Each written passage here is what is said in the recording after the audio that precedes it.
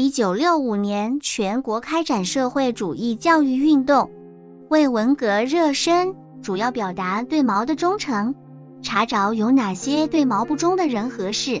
山东一位姓李的语文老师被人告发，说他在上课的时候讲过，毛当年在浏阳被敌人追的，趴在水沟里藏身，这是赤裸裸污蔑毛主席。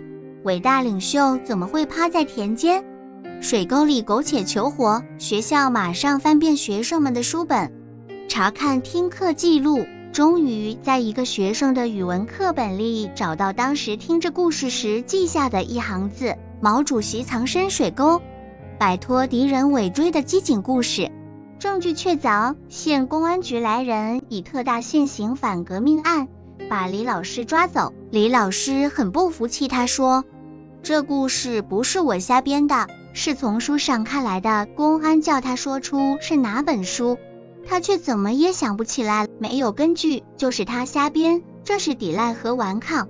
很快，李老师被判刑八年。他老婆是个不识字的农村妇女，当时怀有身孕，跑到县里喊冤叫屈。